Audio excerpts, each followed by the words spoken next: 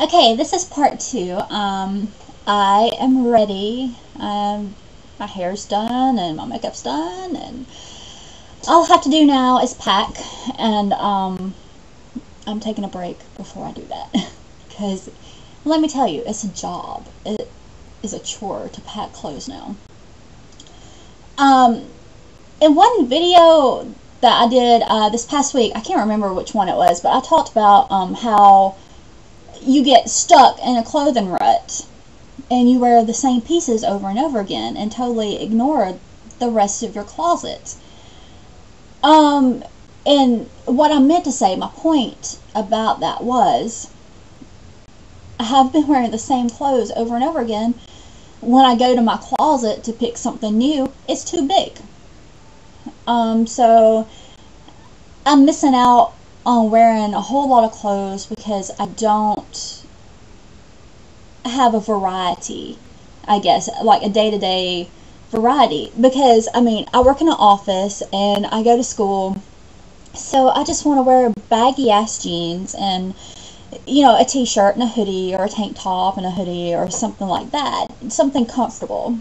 And, um, when it's time to wear nice clothes, I go to my closet and everything is too big. Um, so, uh, you know, the uh, cute little Old Navy uh, sweater cardigan that I bought in a large, um, I haven't worn it yet. I've had it for months and I haven't worn it, and it's almost too big. Um, this is really, really amazing. I bought um, my blue Incubus shirt at the last concert I went to. And I bought it in a medium because, you know, I, I was like, I want to look forward to wearing something. And I look at it and I think that is way, way too small. I, I've got to lose 50 more pounds to fit into that.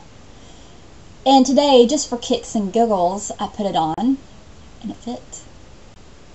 My Incubus medium shirt fit and it looked good. It wasn't tight or anything. it's really cool that you know you buy a piece of incentive clothing and then you find out that you can wear it now and you're not even at your goal and um, that was really overwhelming this morning. And um, I can't wait to wear it. um, I'm going to take it with me this weekend. I'll probably just wear it around the house or something. Right to my dad's house and be like, hey, Dad, look, I'm wearing a medium. um, I mean, I can't get over that. I can wear my medium Incubus shirt comfortably. Um, so, yeah. I've been trying to find something to wear in my closet. And I really like my uh, silk polka dot v-neck shirts that I bought at Old Navy. The tags are still on them. I modeled them in my uh, clothing video. And um, I'm going to have to wear something over it because it's going to be like 45 tomorrow. I mean, it's it's 65 degrees outside now. It's gorgeous. Just like yesterday. Yesterday was gorgeous. And, um, but yeah, it's going to be cold, so I'm going to have to wear something over it. And the only thing that I have, like, I have a long leather jacket. I have tons and tons of hoodies. I mean, I can't wear a hoodie with that, though. It's too dressy. And, um, I have a couple of cardigan type hoodies. Uh, one's a black and it buttons up, and the other is orange. And neither one of those would go with it. And so I'm like, well, you know, I might could wear my jean jacket with it if I got some different pants. Because I don't want to wear a jean jacket and jeans. Yeah. Um, so I put that on, and my jean jacket is way too big. I've, I've worn it out once. And when I wore it out that time, it was snug. I couldn't even button it. And now I wrap it around me, and the buttons go like all the way over here. So, um, I'm gonna have to uh, go through my closet now and start making a pile of yard sale stuff since um, most of my clothes now are like springy stuff and everything. Um, so, and it's kind of disappointing because I have to go buy new clothes now. And I don't really want to. I like all of my clothes in my closet now. Um, so yeah. Uh, what else was I going to talk about? Oh yeah. If, um, I am planning on doing like a skin video, like showing you my extra skin and stretch marks and flabbiness and droopiness. Um, but I'm not going to make it public because I don't want just everybody stumbling upon it and looking at it. So if you want to see that video that I'm going to make sometime soon, um, add me as your friend and that way I can share private videos with you. Um, I've been to the tanning bed this past week. You could probably tell that I'm more tan than usual. I don't want to hear any bad things about the tanning bed, I know. Um, but, you know, I, I was laying in the tanning bed the other day and used to, when I was bigger, the top of the bed would come almost all the way down to my back. And, uh, it really wasn't comfortable. And now I can pull the lid all the way down and rotate 360 and not even touch the top of the bed. That's amazing. And um, now I, with all my extra skin and droopiness, it seems like my extra skin just popped on in the last two weeks.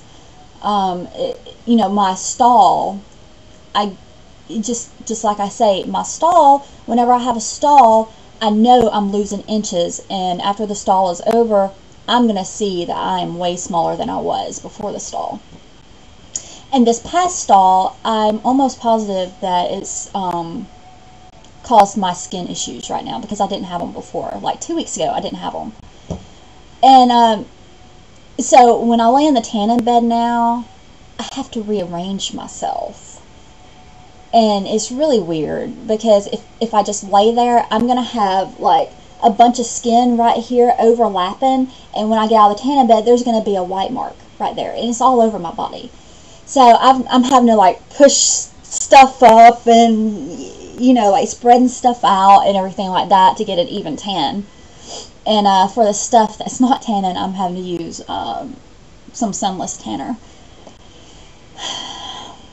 So, um, you know, I, let's see, I was going to talk about clothes and extra skin. I think that's all.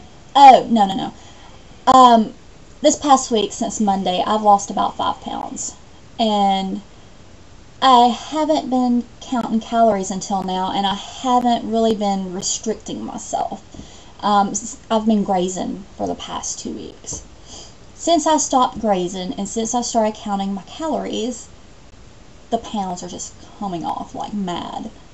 So, if you are at a stall and you're grazing, quit it. Don't just nibble all day long. Don't do it. Find something that's going to fill you up and that's heavy. Um, I've been drinking protein shakes in the morning. Amelia's uh, Frappuccino recipe. And um, it makes me queasy and nauseous. So I don't want to eat for like four hours later. So that's awesome. Uh, the, this past week, I've been tracking my calories. I've been getting in between 500 and 700 a day. Um, mostly protein. I've been getting about 90 grams of protein a day, less than 20 carbs, um, minimal fat, and uh, I'm not counting carbs or fat. So um, I'm just eating tons of protein. Protein, yay. Um, also, this is really quick. If you want to uh, get rid of somebody or whatever, take some flaxseed oil and an hour later your gas will smell horrible. It is so bad. So, uh, yeah, if you want to run somebody off, do that. Um, it's almost 10 minutes, so I'm going to go and I'll see y'all next week.